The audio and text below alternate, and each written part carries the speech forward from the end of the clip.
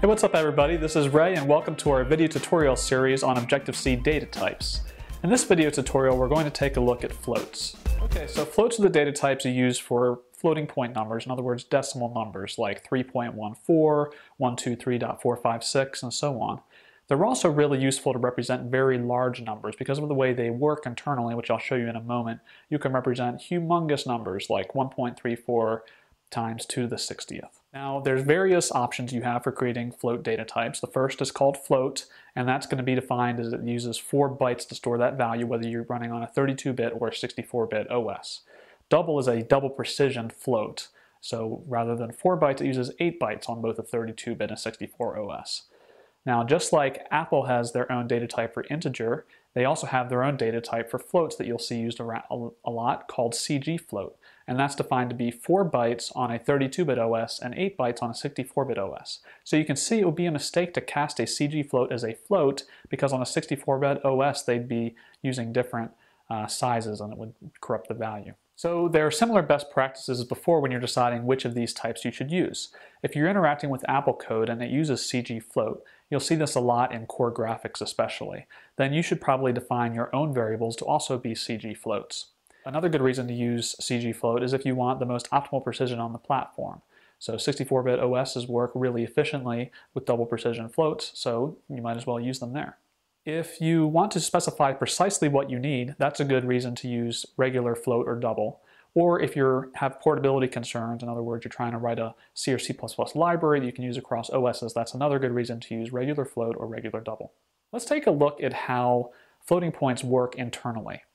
So the way they are encoded is they have a bit for the sign of the value, positive or negative. Then they have this value called the mantissa. I like to think of that as the significant digits for the value. And the important thing to understand about this is it only has so many bits available to store this mantissa, depending on whether you're, you know, using a 30, a, a 4 byte float value or 8 byte double value. Only a certain number of the bits inside there are used to store this mantissa. So this is going to result in some potential rounding errors, which we'll talk about in a bit and I'll demonstrate quite a bit.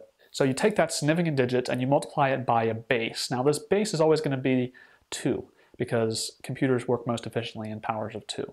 And then you raise that power of 2 by an exponent. So let's take a look at a couple examples. I found the easiest way to understand this is to use this online conversion tool, the link you can find down in the links below. And I find this a really good way to understand how a decimal number is encoded as a float. All you have to do is type in the decimal representation here, and it will display what the sign is, in this case 1, what the mantissa is, in this case it's 1.0, and what the exponent is, so it's 2 to the 1. So in other words, it's 1 times 2 to the 1. And what I like to do is just verify this for myself by putting it inside the calculator. So I mean, it's obvious, but just to do it this way, 2 to the 1 is obviously 2, and if I multiply that by 1, I get 2. Makes sense, right? Let's try another value here. I'll put in 42 this time, and now I get 1.3125 times 2 to the 5th. Let's try that out. So 2 to the 5th is 32 times 1.3125 equals 42. Cool. Let's try a different one, and let's try 0.1. So it turns out that 0.1 doesn't represent itself very well as a in binary form. So you can see here that this number, the mantissa here, is 1.6, a bunch of zeros, and then a bunch of other values here. And this would actually keep repeating, but there's only so many bits available to store, you know, a floating point number, so it has to cut it off at some point. So it's not actually 100% accurate representation here. Um, so let's see what happens. So the exponent is 2 to the negative fourth. So if we do that, then we get that's equal to 0.0625. And if we multiply that by the mantissa times the mantissa, then we get almost 0.1. You see here there's a little bit of uh, error down here, and this causes uh, problems when working with floating points if you're not careful. So let's take a code demo and dive a little bit deeper into this.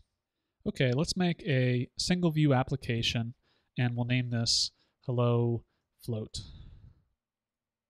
And just save this somewhere to my hard drive. Okay, I'm going to open up app delegate and I'm just going to work in application did finish launching because as you know that's a good place to put sort of test code. So let's make one example of each of the three types of floats that we can use. So first there's float, and we'll set this equal to pi. There's a nice built-in constant called M_PI for that. And we'll also make a double. We'll also set that to M_PI. And we'll make a CG float as well. Next, we will log out each of these values. So it turns out whether you want to log out a float or a double or even a CG float, it's always percent %f. And you just pass in that value. So let's repeat this real quick for the other ones. And another thing I'd like to do is print out the number of bytes that each of these take. So we'll do that just as we did in the integers video tutorial. Okay, now let's run this. Right now I'm running on a 32-bit OS, and we get a float is 4 bytes, a double is 8 bytes, and a CG float is 4 bytes. Now if I run this on a 64-bit OS, I'll see that the CG float is now 8 bytes. Now, one thing that you do commonly when you're logging out float values is you want to sometimes control how many digits to print out. So say you only want two digits to print out for each of these. If you put a 0.2 modifier before each of these values, then it will only print out two digits. So the default is print out six digits, but say we want to double that and print out 12. Now we have a lot more digits displaying. And now you might notice something interesting here. The float is the float version of M_PI is different than the double version of M_PI. And again, that's because doubles have more bits to use to store the exponent values and the mantissa, so they're going to be more accurate. So you're actually getting a rounded value and, and slightly erratic value of M_PI here because float only has, you know, so much it can store about that. So let's see what the exact error is. Cast the float as a double and subtract that and you know I don't want the absolute value of that because it could be positive or negative. Now if I run that I see that there's an error on the float. It's a rounding error, so I just have to keep that in mind. So let me show you a few gotchas that will happen when you work with floats. Here's a common one. So say you want to make a value for one third. Here's the wrong way of doing it. That seems right, right? Well, if I log that out, I actually get zero. So why is that? It's because 1 and 3 are integers. If you were dividing 1 by 3 as an integer, it just truncates the result. So it's going to be 0 in the end. So what you need to do is you need to make those actually floats. And the easiest way to do that is just put a point 0 at the end, and they are now uh, floats. Run this now. Then now I get the, the value that I expect. Now let me show you another common gotcha, and it's comparing two numbers. So say I have an initial value of 0.1 that I want to build up to. And let's say I set my float to be initial divided by 3. And then I'm going to just do that, I'm going to add to that initial divided by 3 two more times. So you would think that if I compared initial and I compared float, they should be the same, right? Because I've taken one third of the initial value, added it, you know, together, and it should be the same. But watch what happens here. If if I do f equals initial, I will log out match. And if they don't match, no match. Okay, if I run that, it says no match, even though you would think that they should. So let's log out a few things to figure out what happened here. Let's log out the value of f. And let's log out the value of the uh, initial value.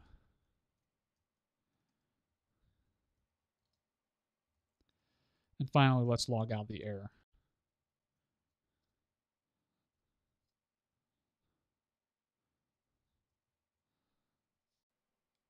Okay, if I run this, I see that f is this value and initial is this value, and they're actually not quite the same.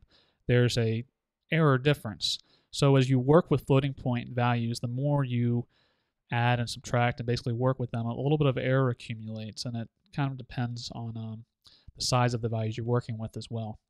So it's not accurate to just test if they're equals. There's a better way of doing it. Now I'm going to show you another way that's not quite right, but it's a step in the right direction. So what we want to do is we want to, instead of testing if they're equal, we want to subtract the two and say, you know, if they're basically close enough, then they're equal. So we'll call this close enough value a tolerance. And one, you know, initial way to think about doing this is there's actually a value uh, defined for us called float epsilon. And that's defined to be the smallest value between one float and another. And you might think, well, you know, that sounds like a good, nice small value to use. Uh, why don't we compare against that? So let's see what happens if we try that. So we'll now switch this to f abs to absolute value of f minus initial is less than tolerance. Okay. So now it says match. Oh, let's log out the tolerance too. Okay, we see the tolerance is, is this and the error is less than the tolerance, so that's why uh, it says we're okay. But that doesn't always work because uh, it depends on sort of how many operations you're doing with the float, you know, and we happen to be okay here. But let me show you another example that wouldn't quite work.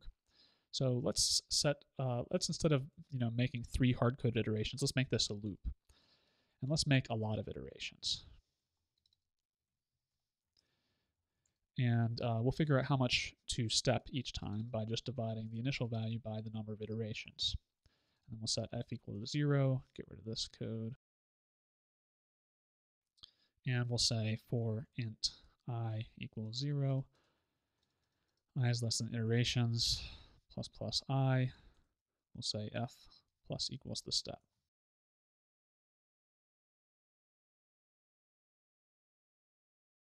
So, okay, so this time, look what happened.